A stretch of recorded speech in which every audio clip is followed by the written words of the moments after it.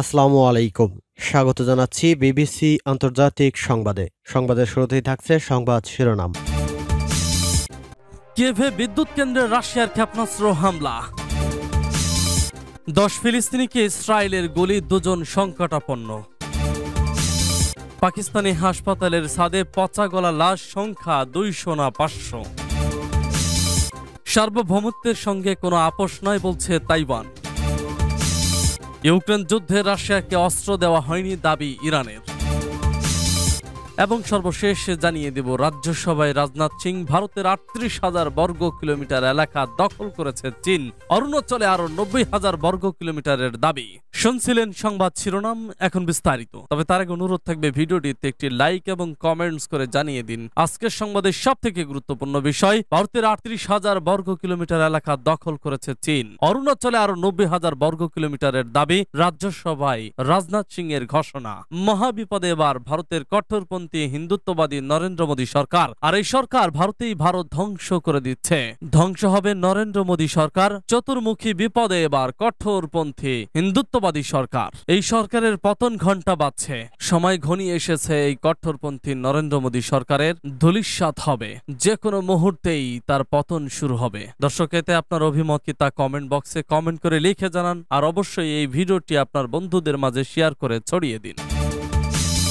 কিয়েভে বিদ্যুৎ কেন্দ্রে রাশিয়ার ক্ষেপণাস্ত্র হামলা। ইউক্রেনের রাজধানী কিয়েভের পাশে একটি গুরুত্বপূর্ণ বিদ্যুৎ কেন্দ্রে ভয়াবহ ক্ষেপণাস্ত্র হামলা চালিয়েছে রাশিয়া। জাতীয় গ্রিডে বিদ্যুৎ সরবরাহ করা এই বিদ্যুৎ কেন্দ্রটি রোশ মিসাইল হামলায় কার্যত অকেজো হয়ে গেছে, খবর আল জাজিরার। কিয়েভের গভর্নর ওলেক্সিয়ে কুলেভা শনিবার তথ্য জানিয়েছে, তবে রুশ ক্ষেপণাস্ত্র হামলায় হতাহতের কোনো খবর পাওয়া যায়নি। এর আগে রাশিয়ার বেলগৌরুদ অঞ্চলে একটি জ্বালানি তেলের ডিপোয় হামলা চালিয়েছে ইউক্রেন। এতে ওই ডিপোয় আগুন ধরেছে। শনিবার এ হামলা হামলা চালানো হয় বলে জানিয়েছেন বেলগোরোদের গভর্নর ভিয়াসলাভ গ্লাকপ মূলত ওই হামলার পরই রাশিয়া কিয়েভের ওই বিদ্যুৎ কেন্দ্রের ক্ষেপণাস্ত্র হামলা চালায়। ইউক্রেনের হামলার পর জ্বলন্ত ডিপোর একটি ছবি সামাজিক যোগাযোগ মাধ্যমে শেয়ার করেছেন বেলগৌরোদের গভর্নর। সেখানে দেখা যায় একটি ভবনে আগুন জ্বলছে ও কালো ধোয়া উঠছে। এর পাল্টা হামলা হিসেবে রাশিয়া কিয়েভের ওই বিদ্যুৎ কেন্দ্রে হামলা চালিয়েছে বলে ধারণা করা হচ্ছে। দশ ফিলিস্তিনিকে ইসরায়েলের গুলি দুজন সংকটাপন্ন? অধিকৃত পশ্চিম তীরে ইসরায়েলি বাহিনী নির্বিচারে গুলি চালিয়ে দশ ফিলিস্তিনিকে গুরুতর আহত করেছে। ফিলিস্তিনের স্বাস্থ্য মন্ত্রণালয় জানিয়েছে, এদের মধ্যে দুজনের অবস্থা আশঙ্কাজনক। শনিবার ইহুদিবাদী ইসরায়েলের সেনারা পশ্চিম তীরের সালফিদ শহরে ওই তাণ্ডব চালায়। এক বিবৃতিতে ফিলিস্তিনি স্বাস্থ্য মন্ত্রণালয় জানিয়েছে, পশ্চিম তীরের সালফিদ শহরে কারবেদ বানি হাসান গ্রামে অভিযান চালাতে গিয়ে স্থানীয়দের ওপর অত্যাচার শুরু করে ইসরায়েলি বাহিনী। এ সময় এলাকার লোকজন এসবের প্রতিবাদ করলে ইসরায়েলি বাহিনী গ্রামবাসীর ওপর নির্বিচারে গুলিবর্ষণ করতে থাকে। এতে অন্তত দশ ফিলিস্তিনি গুলিবিদ্ধ হয়ে গুরুতর আহত হন। আহতদের মধ্যে দুজনের অবস্থা আশঙ্কাজনক বলে জানিয়েছেন চিকিৎসকরা।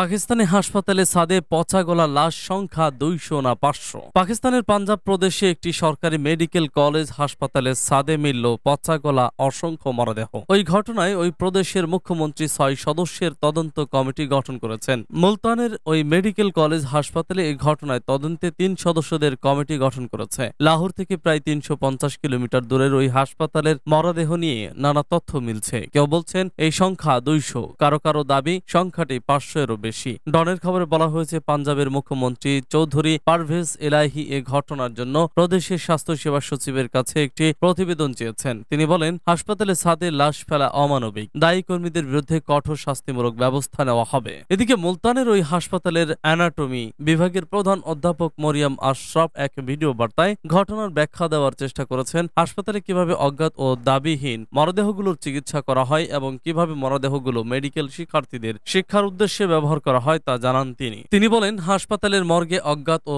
দাবিহীন মরদেহ রাখা হয়। সেই মরদেহগুলোতে পচন ধরতে শুরু হলে সেগুলো মর্গের ছাদে বাতাসযুক্ত কক্ষে রাখা হয়েছিল। তিনি দাবি করেন, কিছু দাবিহীন মরদেহ মেডিকেল শিক্ষার্থীদের শিক্ষাদানের কাজে ব্যবহার করা হয়েছিল আর তা নিয়ম ও বিধি মেনেই করা হয়েছিল। তবে পাঁচ শতাধিক মৃতদেহ পাওয়ার খবর অস্বীকার করেন অধ্যাপক মরিয়ম আশরাফ। তিনি বলেন, চিকিৎসা পেশার লোকেরা আমাদের পরিস্থিতি বুঝতে পারবেন। এরই মধ্যে মুলতানের ওই সরকারি হাসপাতাল পরিদর্শন করেছেন মুখ্যমন্ত্রীর উপদেষ্টা তারিক জামান গুজ্জর। গত শুক্রবার গণমাধ্যমকে তিনি বলেন, হাসপাতাল পরিদর্শনের সময় একজন তাকে বলেন, দয়া করে হাসপাতালে সাদে গিয়ে দেখেন। মর্গে যাওয়ার সময় হাসপাতালের এক কর্মী পথ আটকান তিনি মর্গের দরজা খুলতে রাজি হচ্ছিলেন না। এরপর ওই কর্মী দরজা খুলতে বাধ্য হন। সাদে তিনি লাশ দেখতে পান। আরেকটি বন্ধ ঘরে তিনি পঁচিশটি পচা গলা লাশ দেখতে পান। তারিক জামান বলেন, তাকে বলা হয়েছিল মৃতদেহগুলো মেডিকেলের শিক্ষার্থীদের ব্যবহার করেছেন। তার মন্তব্যে, মৃতদেহগুলো শিক্ষার্থীদের পড়াশোনার উদ্দেশ্যে ব্যবহারের পরে জানাজার পর যথাযথভাবে দাফন করা উচিত ছিল। তা না করে সেগুলো সাদে ফেলে দেওয়া হয়েছিল।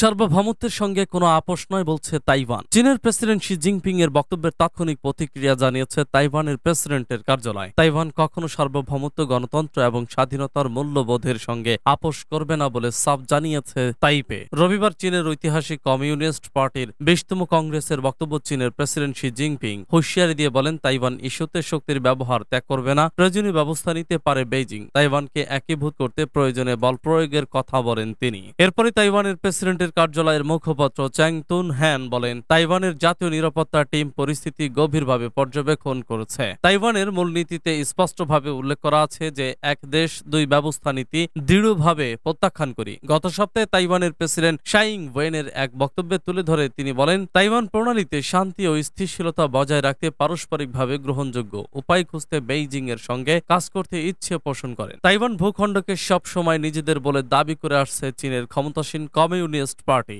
যদিও তাইওয়ান সব সময় চীনের নিয়ন্ত্রণের বাইরে দ্বীপটির সরকার নিজেদের স্বায়ত্তশাসিত ভূখণ্ড বলে দাবি করে আসছে, সূত্র সিএনএন।